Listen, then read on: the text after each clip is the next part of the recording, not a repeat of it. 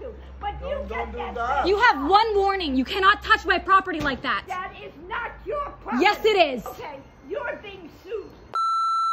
What is up guys? My name is Tara. Welcome to or welcome back to my channel. Today's video is a continuation of my crazy neighbor story. If you have no idea what I'm talking about, click the little eye that pops up. Watch all the videos before this one so you know what the heck is going on because otherwise you might be a little confused. For those of you that you know, have been around this whole time or have caught up and then are here now, you know that my neighbor has been harassing me since the day that I moved in and I don't get to use my outside areas that I literally bought this place specifically for. And that's a huge bummer. I don't want some old lady you know, making me not want to use my space. But she's spraying people with hoses now, so you go outside, you get sprayed. And this is because there are holes in the fence between us. I have said for months that I am gonna get that fence covered up so I don't have to deal with her anymore. And that day came and that day was yesterday. So I finally got my contractor to come over and patch up this fence so she can no longer look at me and say anything to me. Also, by the way, if you're new here, definitely subscribe because I, I know there's gonna be another video. I just know there's gonna be more to this because well, you'll find out by the end of the story, but there will definitely be more to this. Like it's not over. It's just a horrible experience. I have deep, deep anxiety because of it and paranoia in my home. This is fresh. It just happened yesterday and I am um, deeply disturbed and shaken up. I just feel just so uncomfortable. Anyways, let's discuss what the heck happened. So my contractor came over yesterday with all the materials. I showed him all the photos. He knew exactly what we were doing to the fence. Here, this is where we're at.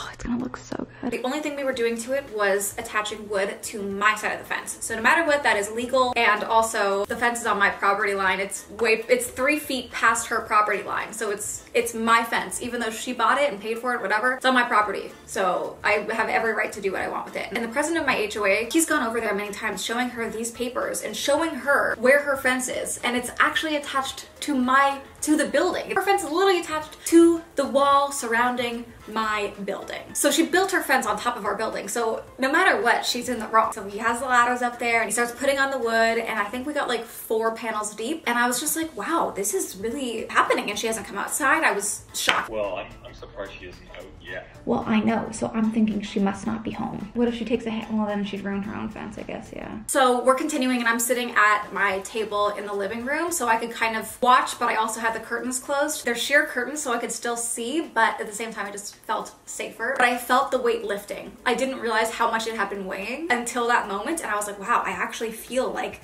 I'm about to get my, my place back, my home back. And of course, she eventually comes outside and I have two stories in my home in case you didn't know that. So I had cracked my bedroom balcony door so that I could hear everything up there and still hide behind my blackout curtains. I realized how sad this sounds. Like I shouldn't have to do this in my home, but I, I did. So I run upstairs and I obviously start recording. How are you? Good. All right. Covering this side with wood. That's it. Solid. Yeah. Where's your footing? Right, right here this side. To this fence? Yeah. No, don't attach it to this fence. It's my fence. Uh, well. These are my footings and this is my fence. mhm. So you have to attach it to something else. The thing is, this is very light. Don't attach it because you'll get sued. But why? I'm not going to tell you because I didn't employ you. If you do do it, you will be sued. So I'm trying to get you to go back and think of another way. I was supposed to get approval on this. You're going to have to re go back, recalculate the job, Nah. and tell them how much money it's actually going to cost. One thing. Yes. So what about if I put it some tarp, like a plastic something? No, I don't want anything attached to it. Oh, really? Yeah, because I don't want it weakened. This is the fence that was built years ago, Uh-huh. And it's the best one. You understand how I feel? I know. So who is this wall? This your? That wall was put up so that the, The the con the so concrete one. that, no, so that this earth does not go into this property. Just to ask you, uh, who built the retaining wall? They were told they had to build the retaining wall. So you know what? I'm trying to to do my I know you are. I know you are. But I want you to realize what the consequence is going to be. Why we don't make easy to finish this project? No, because I don't make things easy. Easy is not where I go. Uh, I go for what's correct. I'm a father working to provide my home. I know you do. You want to I come understand. here, do a job. Yes. You're a homeowner. You know it. You're not going to let someone come over and take your property away. Okay, okay. You're niceness. I understand. I don't want to. I don't want to. You know, argue with you. I don't want to argue with anyone. I don't argue with anyone. My name is Johnny. You have to now, attach it to something. now you told me you're You have to be attached to something. When I finish this wood, your fence is gonna be more strong. I don't want it. I don't care, Johnny, how strong. I know exactly what I have, and I know what my legal rights are, Mm-hmm. and I don't like fast ones, and so I don't really care. It's got to stop, okay? Yeah. And I don't care what they know. They were pulling this on me. They knew exactly. I explained it to the homeowners association. He guaranteed me that he would, I would have approval. These homeowners come. I'm living here 43 years. Yeah.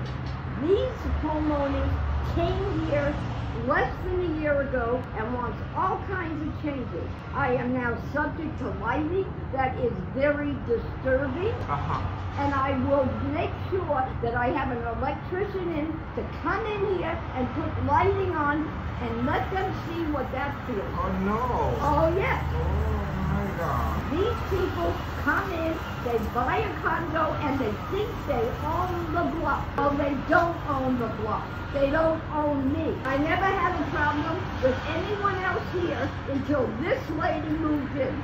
Okay. So definitely you don't want to see my wood this side. Hello. I'm not answering any more questions, Johnny. Okay. So after that conversation ended, Donnie, my contractor, he went back up at the fence like 10 minutes later just to see if she was still in the backyard and would like look. So he was on the ladder and he was up there for like three minutes and I didn't know what he was doing, but I could hear him kind of giggling to himself. And uh, he came down, he was like, she's hiding behind a tree. Sorry, the lighting is changing. That she could watch to see if we kept going or not. So my contractor obviously was very disturbed and didn't know what to do. He was like, Do we continue? Do we not? And I also didn't know what the heck to do. I didn't know what to tell him. Obviously, I wanted to continue, but I knew, I don't know, she had already like given us a warning, and you don't really want to mess around with somebody like that. So he's on the phone with his other contractor buddies and other people that he knows that do similar things. And he's telling me that I have every single right, especially because her fence is bolted into my wall. So no matter what, I have every right to do this. So after an hour of debating this back and forth with my contractor, we decided to continue with the fence because I I need it done. I just need it done. It's obviously disastrous trying to get it done, but it needs to be done. Just need it to be done. You can clearly hear that her logic isn't there because he asked about like, can we do the plastic? She said no, even though the other neighbors next to me that also share the lawn with her, they have the plastic. So there's just there's just no logic. Anyways, whatever. We decide to continue. And I didn't know how it was gonna go. I didn't know if she was gonna come back outside. It did not go well. This is when I started shaking, like literally shaking. My contractor like was hugging me, being like, "It's gonna be okay. I'm scared too." Like it was, it was insane. So I'm on Facetime with Jill, and I see her with a hammer coming back over to the fence. And Johnny's downstairs. He's, I guess, prepping the next piece of wood. And she comes over very angrily. She has a hammer. She has a hammer. Excuse me? Hey, Get this thing off!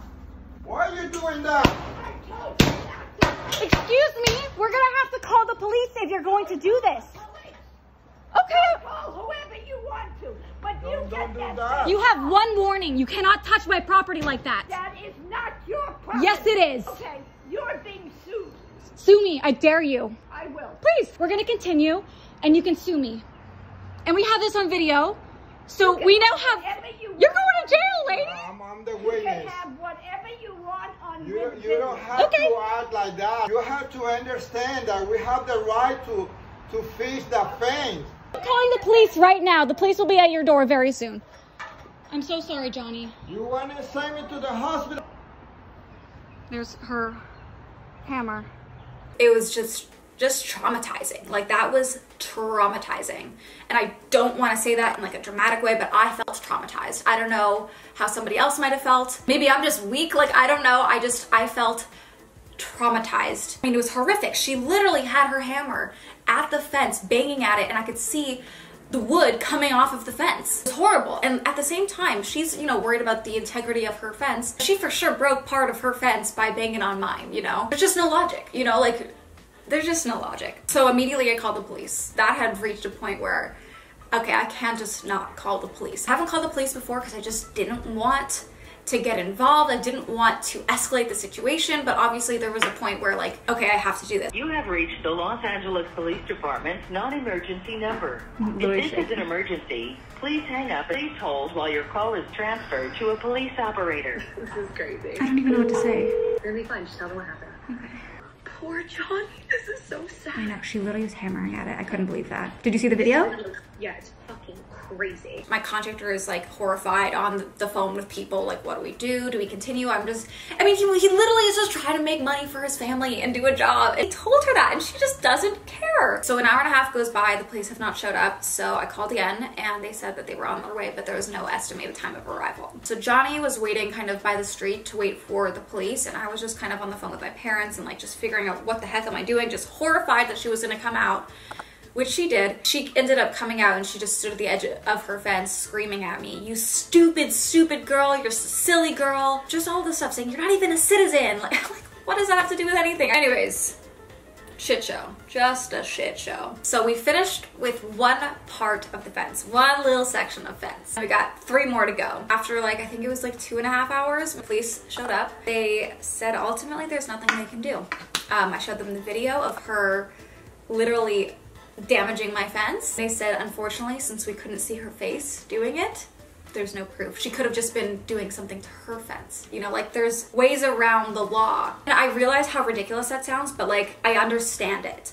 I see why she can get away with this stuff. It is not at all right, but the police literally said there's nothing we can do and your only two options are take her to civil court, get security cameras, or move. And I shouldn't have to deal with this woman. The police cannot do anything and that's insane. Going to civil court, like I don't even know what the heck to do in court. I don't know what that I'm doing. I don't want to do that. I have no interest in doing that. Police did tell me that I could continue building the fence and that they were, they were not going to do anything about it. So we're going to continue building the fence on Monday. This is going up on Tuesday. So by the time this is live, I'll have another update, but this is going to be long enough as is. So I figure we'll just separate them. I, I don't even know what's going to happen. There might be nothing. I I don't know. The police did go to her door and they spoke to her and they said that her place was really creepy. Just funny, I didn't think police could speak that way, but I guess they can. I don't know. They're just humans. They said that it seemed like they got it across to her that she cannot take matters into her own hands and if she has a problem, she can call the cops on me. So that's kind of what happened with the police. That's kind of what happened with the fence. After that, my contractor just packed up and left and said, like, let me know what the game plan is. So I spoke to my parents and my dad actually, greatest man in the world, he is flying out here tomorrow so that he can be here on Monday when we get working on the fence again. I can't even tell you how